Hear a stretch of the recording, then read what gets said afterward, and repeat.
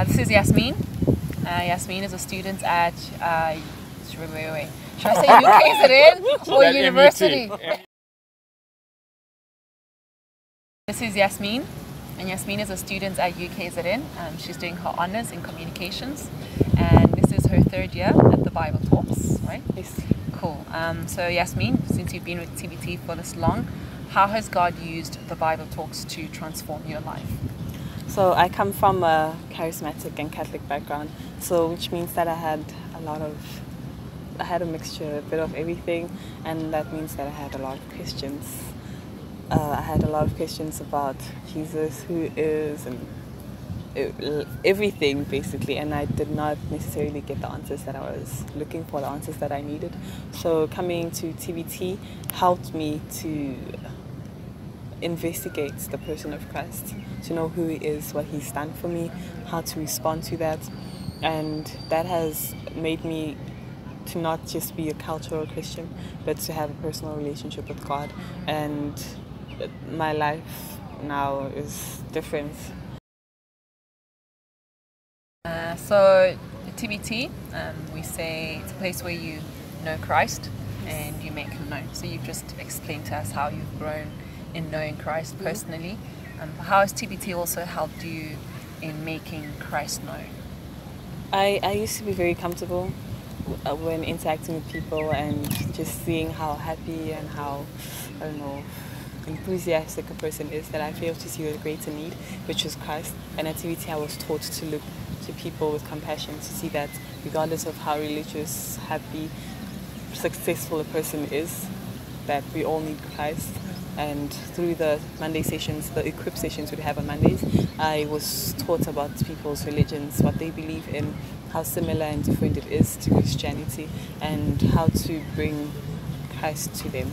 And now when I interact with people, I have, I'm, I know what to say, I know how to approach them, I know how to, what questions to ask, I know which areas to be sensitive about. Yeah. So that has really helped. So, do you want to tell us what uh, Mid-Year Conference is and what your experience there um, has been?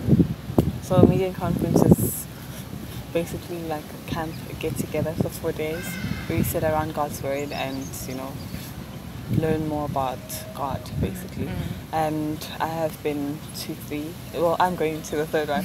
My yeah. first one was in 2017, and when I got there, it was amazing.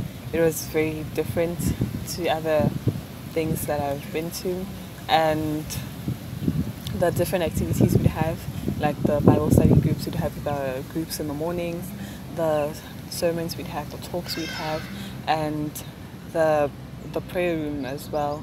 It was very encouraging to see um, God being preached faithfully and the, the effort and energy people are putting in their Christian lives, and to witness young, older people come together and talk about Jesus, talk about what He's done in their lives, and to hear about people's experiences and how God has worked in their lives. So I talked to people who were who are not Christian. I spoke to people who've been Christians for a long time, people who just recently became Christians and heard about their testimonies, how they got to know Christ, and it was very encouraging.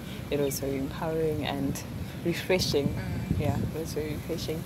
What I what I got from MYC um, firstly, it has helped me by increasing my desire to know God, to read the Bible, to know to know more about Him, you know, and what I can do to serve Him uh, better.